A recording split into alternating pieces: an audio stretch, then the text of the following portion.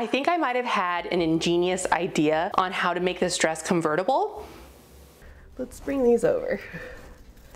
Hey, you. Sorry if I sound a little bit uh, rough. I am just getting over a very nasty cold, but we're gonna persevere.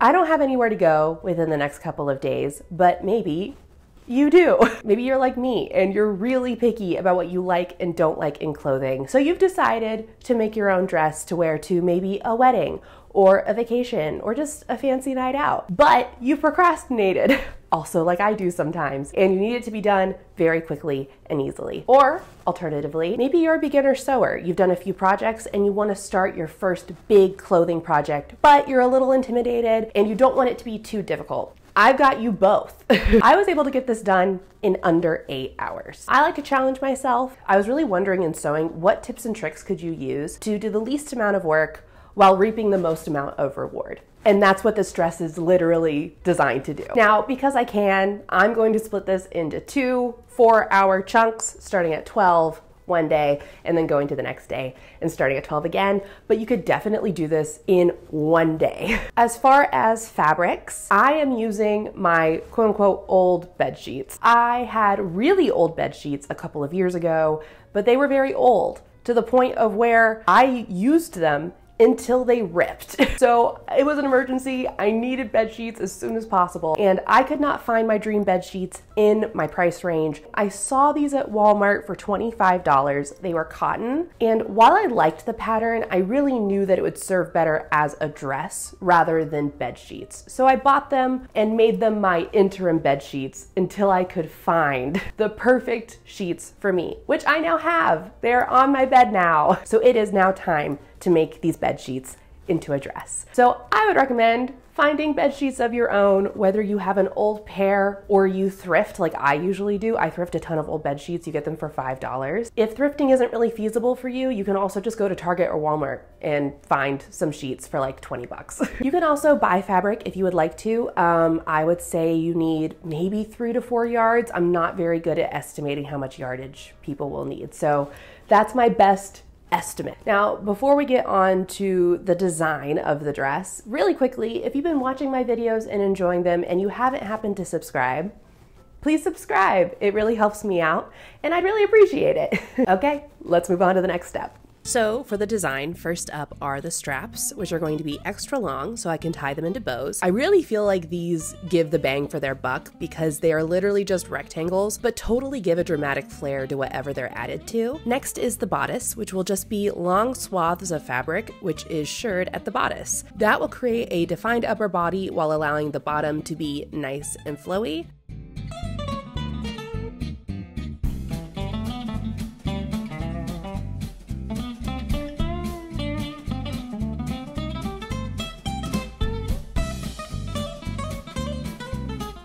Now this is the first part of the dress that I'm hoping to finish in four to five hours, but I wanted a secondary option if you're willing or able to work a couple more hours on the dress. So I'm going to add removable sleeves, which you can totally make permanent. I am just obsessed with convertible clothing, and a simple waistband to add even more definition to the waist.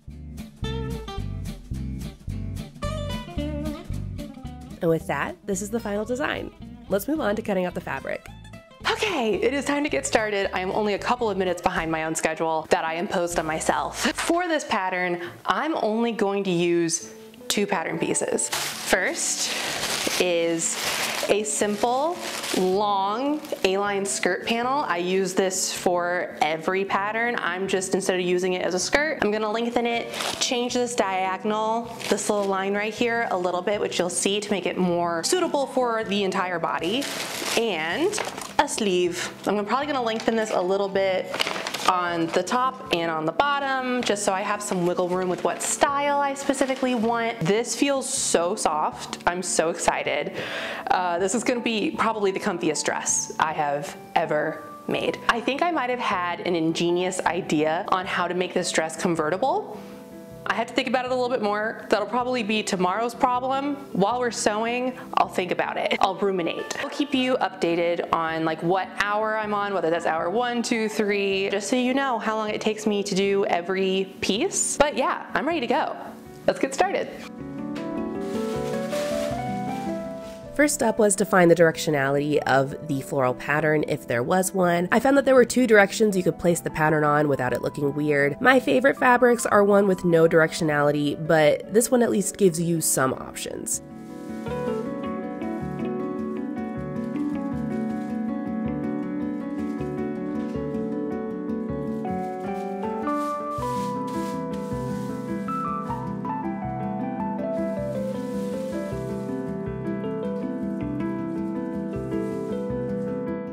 So first I wanted to make the diagonal line on the skirt a bit more dramatic and also make it a bit less wide around the chest and torso area because shirring can only do so much and I've had problems trying to take in too much fabric in the past. This one didn't really end up needing it, but I did go ahead and slim out the top by a couple of inches and added a few inches to the width and the length at the end. I ended up being able to cut out three of these skirt panels because they were on the fold line.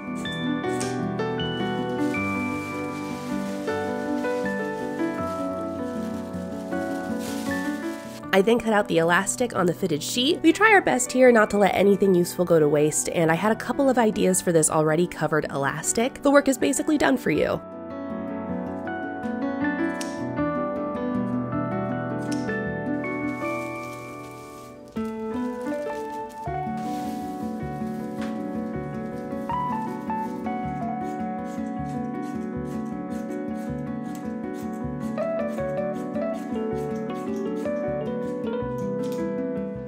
Can use any A-line skirt panel and puffy sleeve pattern pieces that you have sitting around, but just in case, I'll link the two patterns that these are specifically from in the description. For the sleeve, I added some length all around just to be sure I had some options going into the sewing, as well as for the removable sleeve idea I was thinking on.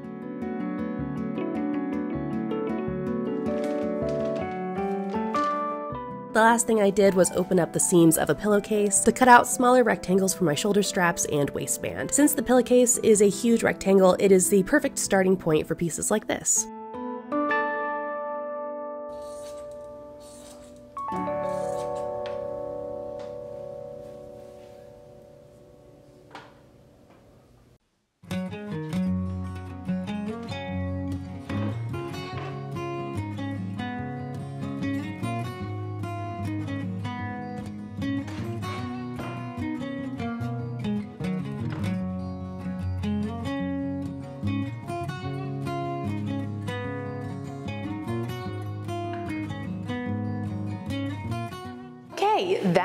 Took about an hour because I also got a snack. now you may be wondering, how are we going to take skirt panels and make them look like a dress? with shirring.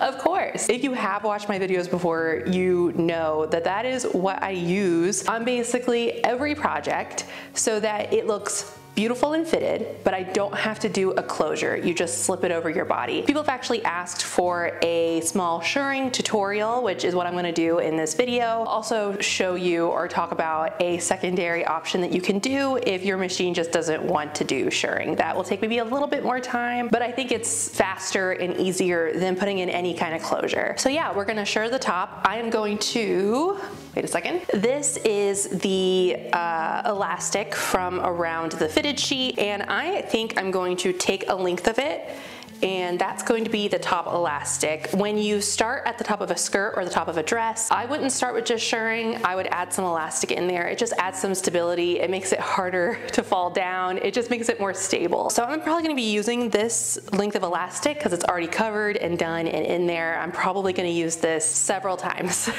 Let's get started.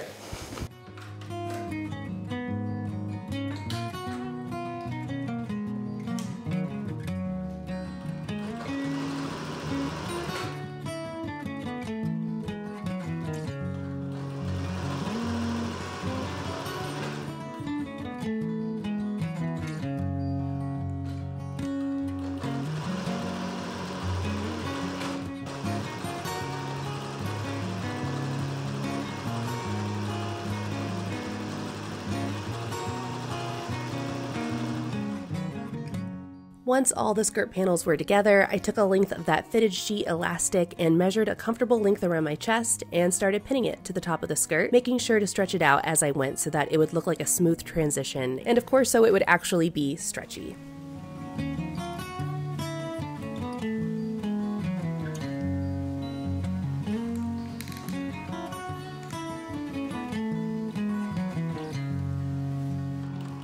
I stitched it as close to the bottom of the elastic as possible to make the seam look invisible, and just as I was finishing this up and starting the shirring, we are sneaking into the third hour.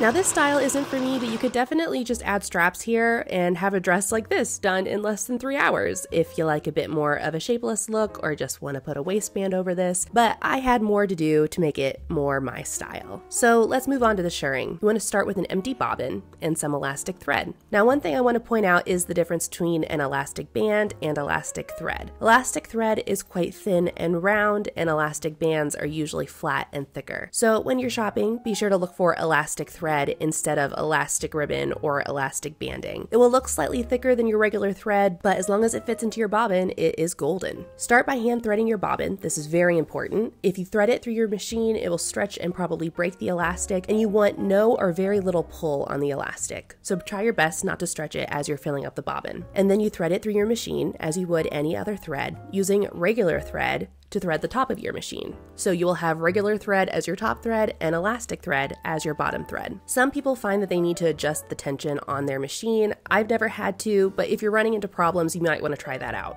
and then I just started sewing on a straight stitch about a quarter to half an inch below the seam I last made. Once you get around in a full circle, instead of stopping, cutting the thread, and moving the needle to the next point, I simply keep sewing and gradually move my needle down another quarter to half inch below my last line of shirring. I think the least amount of times you cut the thread, the better. It just keeps the shirring tighter and together. You'll probably need to refill the bobbin a couple of times, which is fine, but try to use a continuous thread as often as possible. The more lines of shirring you do, do, the more elasticated the piece will become.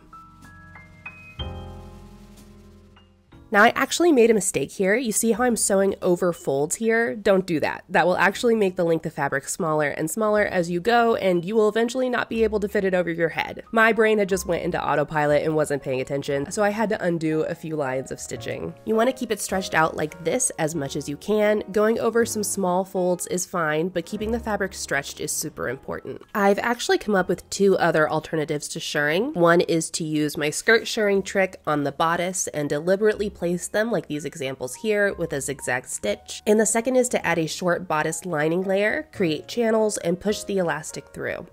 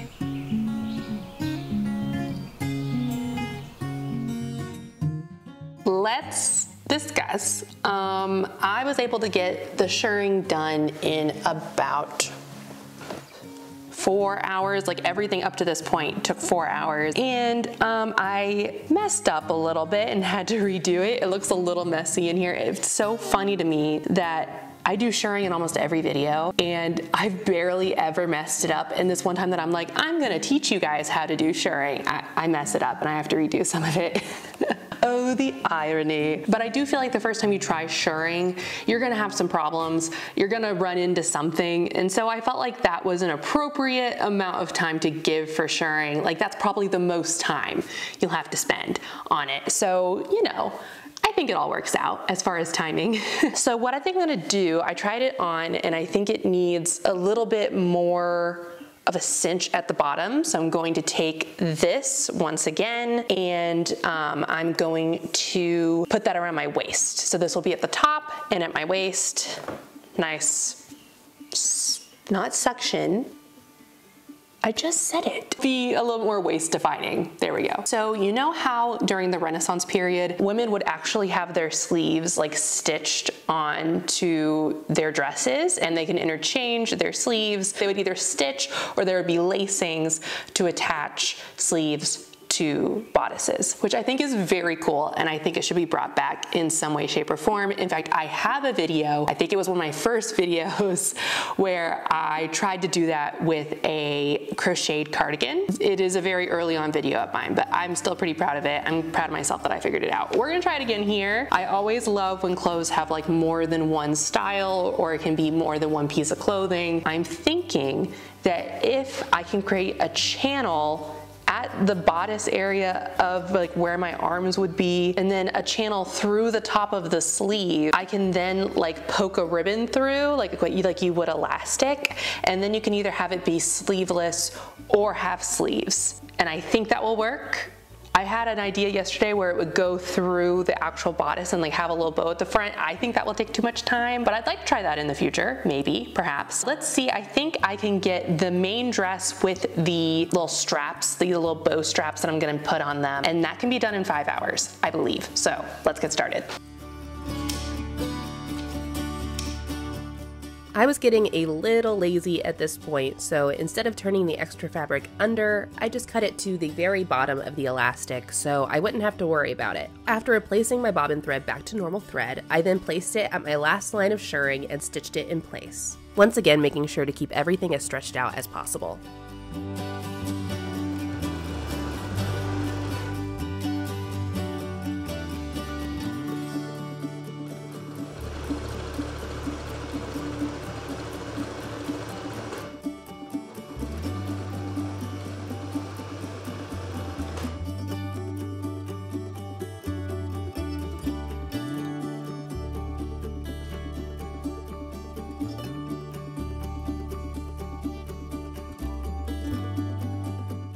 I then started on the long straps. I had made four 3 inch wide rectangles, folded them over, made a small seam at the long raw edges and at one short seam. Then I put a safety pin at the end and pushed the fabric through to the right side and then top stitched the other end to finish it.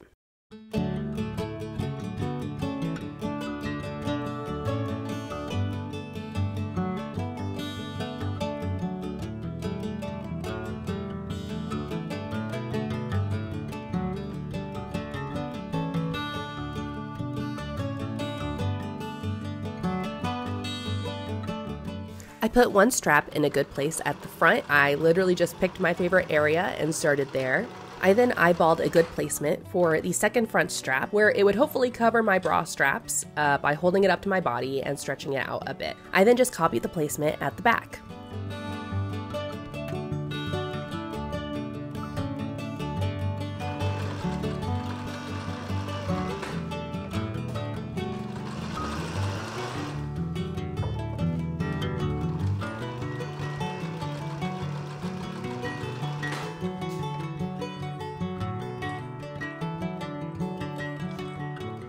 And I just copied the way I made the straps for the waistband, which was about twice the width and long enough to wrap around my waist twice with some extra for a bow.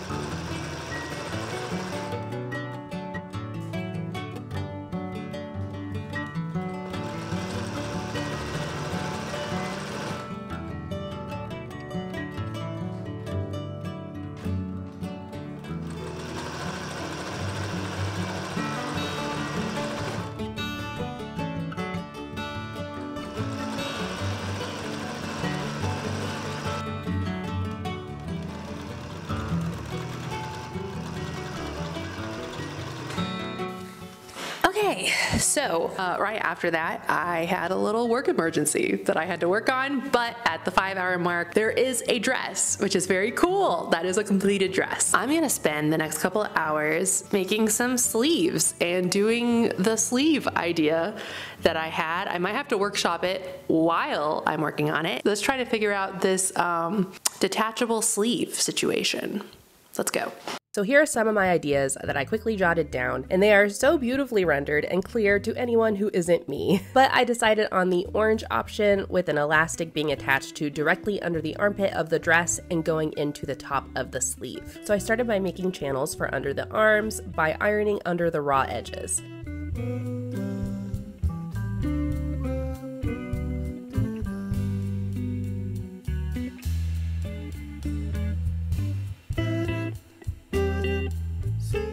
I then pinned it starting at the back strap and ending at the front strap on the same side by stretching it out. So basically encompassing your armpit uh, and leave the ends open so you can pull a piece of elastic through. I just um, quickly stitched those ends under to make sure they were finished.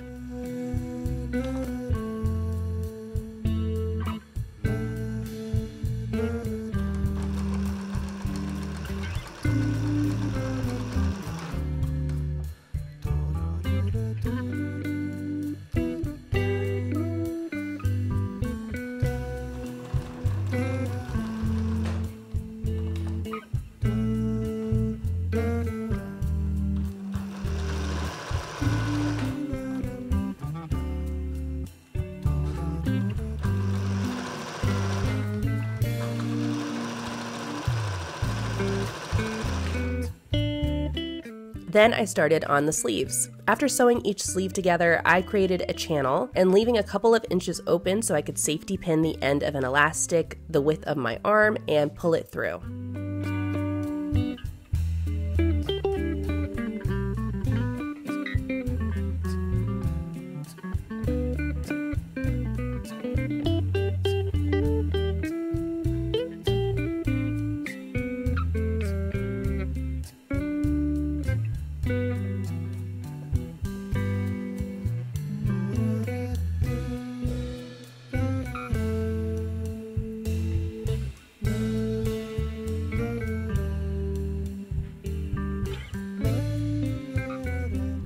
I then securely sewed the ends of the elastic by backstitching and forward stitching several times and stitched over the last couple of inches of fabric to finish it.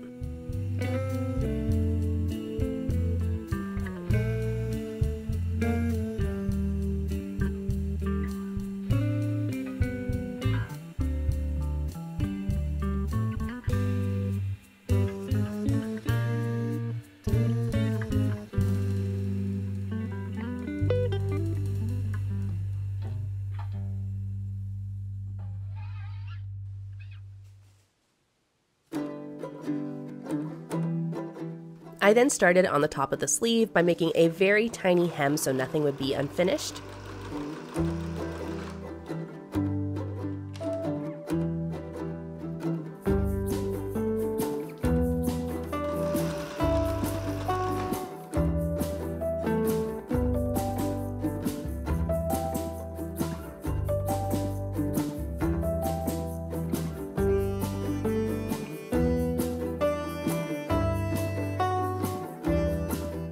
Then folded it over one more time along the top, leaving the armpit area open, so that way the elastic could be threaded through but connect to the underneath of the dress.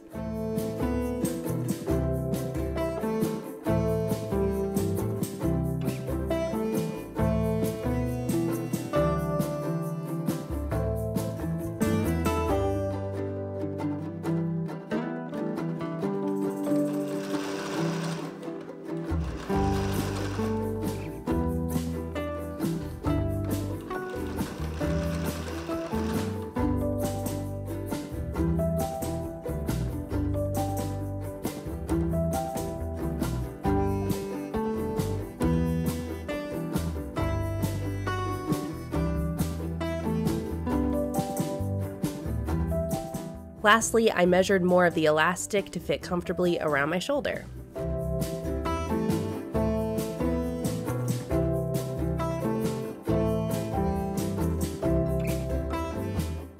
Also, colds have been like rampaging through my family over the past couple of weeks, and um, I'm starting to feel a little bit not so well. Uh, let's hope I'm not getting a cold. Yay.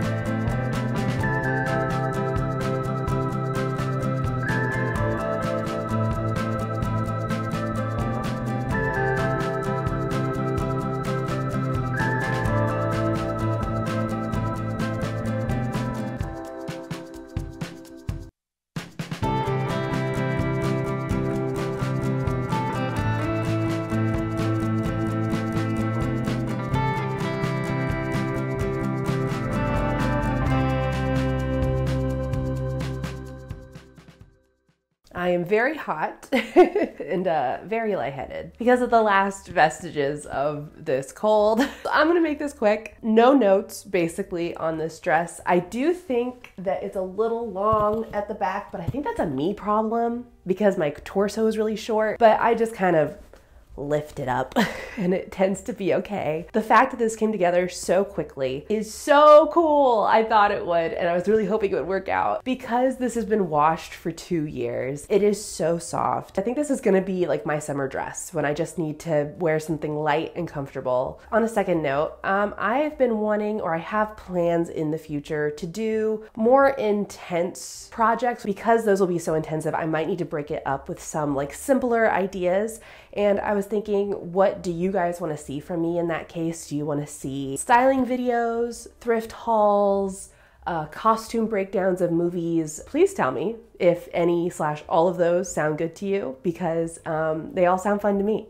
so uh, let me know. And if you haven't subscribed, please do. I hope you guys had a good time and I hope to see you back here next time. Bye.